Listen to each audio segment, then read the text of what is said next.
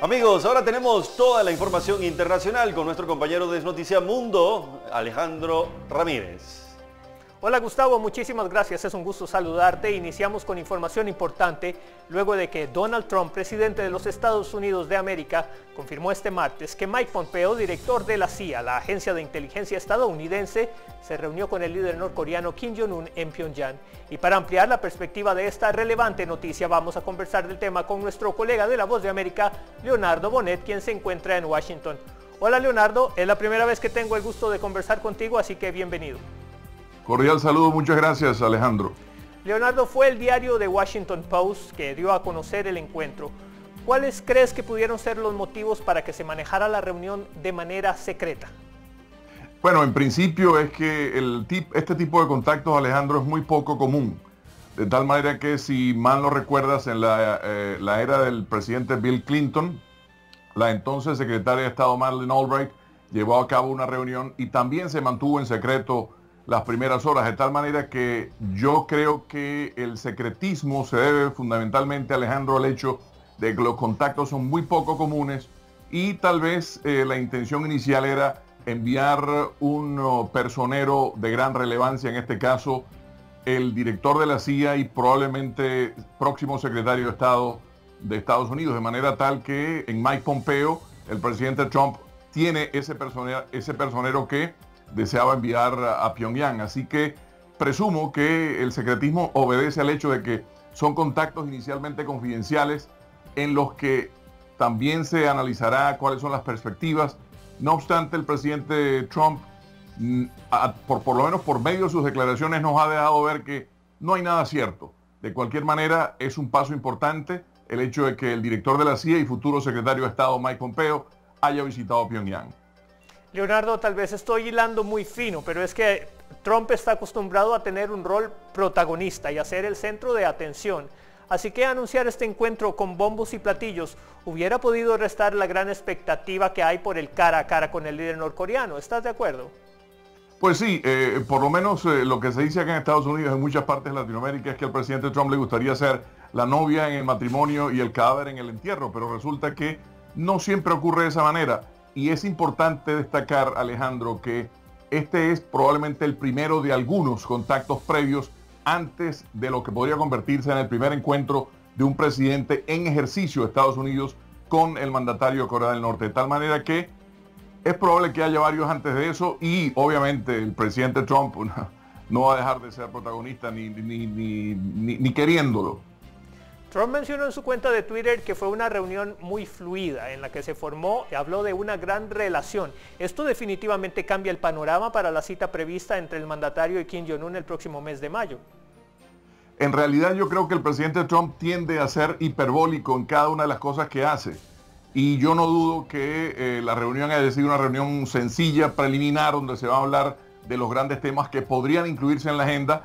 Así que eh, la palabra del presidente Trump a veces es un poco, uh, ¿cómo diríamos? Eh, no exactamente concreta, pero es probable que haya sido realmente una reunión en la cual se hayan establecido por lo menos a grandes rasgos los temas que se van a tratar en el encuentro, si es que se da en propias palabras del presidente Trump. También es importante mencionar que para este viernes hay prevista una reunión entre Kim Jong-un con el presidente de Corea del Sur, con Moon Jae-in, esta anuencia al diálogo es un cambio de dirección de 180 grados con la anterior política exterior de Corea del Norte. ¿Crees que podría ser este el resultado de las sanciones económicas impuestas al régimen? Absolutamente. No olvides que China tiene el 80% del comercio con Corea del Norte, pero más ningún, otro país tiene prácticamente relaciones comerciales con, con Corea del Norte y es un país que está sufriendo una hambruna se conoce poco, pero la condición económica de Corea del Norte, aparte de tener armas nucleares etcétera, etcétera, yo creo que la condición socioeconómica de la nación está sumamente grave y yo, eh, por lo menos por lo que he leído mediante análisis de diversos expertos, es que obedece al hecho de que la condición económica de Corea del Norte lo ha obligado a Kim Jong-un a tratar de establecer alguna forma de contacto con el objeto de que se levanten sanciones y de que Corea del Norte tenga un respiro. Ya mencionaste algo anteriormente. Por otro lado, esta reunión de alguna manera le da legitimidad a Mike Pompeo en su camino a la Secretaría de Estado. Es el puesto para el que fue propuesto por el mismo presidente Donald Trump. No lo sabemos a ciencia cierta. Eh, Mike Pompeo fue inicialmente como director de la CIA, pero también como nominado como secretario de Estado. No obstante, en la primera audiencia que sostuvo Pompeo en el Senado de Estados Unidos, las cosas no fueron de la mejor manera y por lo que he leído en las últimas horas, eh, la confirmación de Pompeo no está 100% ratificada hasta estos momentos.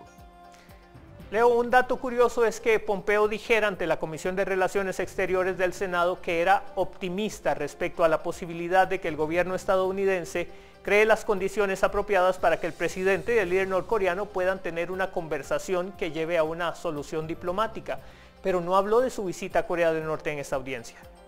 Obviamente, porque consideró eh, importante mantener confidencial ese informe hasta que el presidente Trump decidiera cuándo lo iba a dar a conocer, y eso fue hace pocos días, de tal manera que la visita de Pompeo fue en Semana Santa, la Semana Santa nuestra o de ustedes en América Latina, y eh, tuvo lugar bajo circunstancias ultra secretas, así que obviamente eh, el Mike Pompeo, el director de la CIA y futuro secretario de Estado, tenía razones para mantener eh, en secreto esa información y me imagino que tendrá también respaldo al mencionar que eh, es optimista respecto al encuentro entre el presidente Trump y Kim Jong-un, pero siempre, eh, aunque rodea de optimismo este tipo de encuentros, nunca es 100% factible que las cosas vayan a cambiar por cuanto Corea del Norte tiene demasiado tiempo en un solo sendero. Ojalá que cambie para bien de todo el mundo, pero lo desconocemos.